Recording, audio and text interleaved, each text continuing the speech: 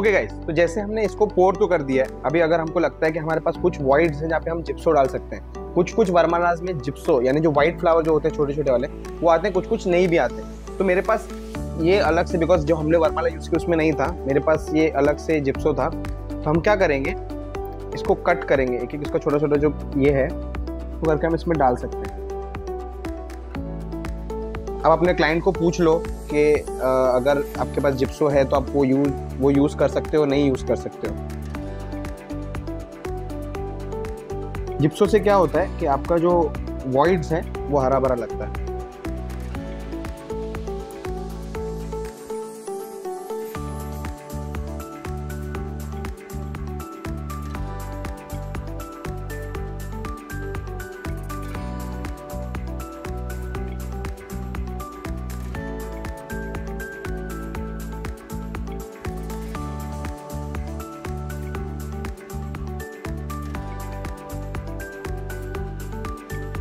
ध्यान में रहे कि आपका जिप्सो ज़्यादा फ्रेम के जो है, उससे बाहर ना आ जाए।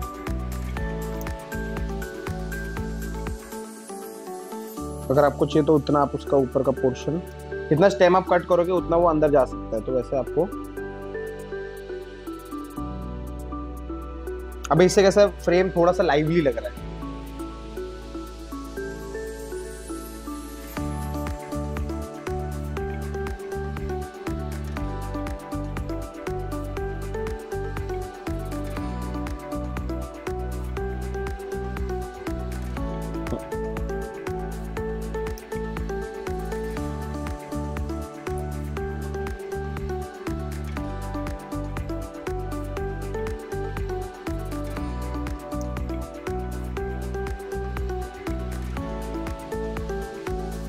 थोड़ा सा अगर फ़ोटो के ऊपर भी आता तो कोई प्रॉब्लम नहीं। थोड़ा सा वो नेचुरल जैसे हम एक बुके बनाते हैं, वैसा लगना चाहिए।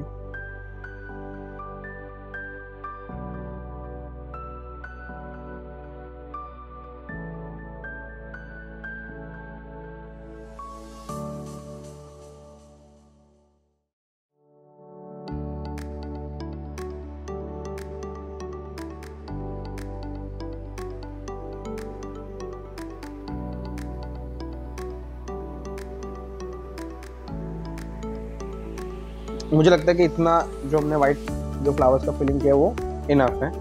उसके बाद आपको लगता है कहीं कि आपको मोती डालना है, आप मोती डाल सकते हो, जैसे कॉर्नर्स है।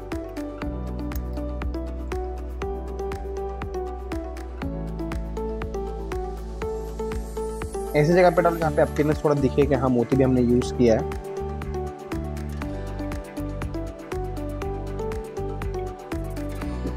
कुछ या फ्लावर्स के बीच में भी डाल सकते हो।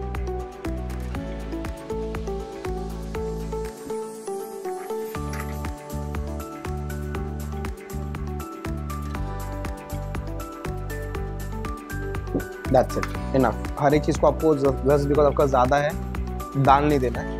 आपको लगता है कि जितना उसका एस्थेटिक अपील बढ़ा सकता है, उतना ही डालना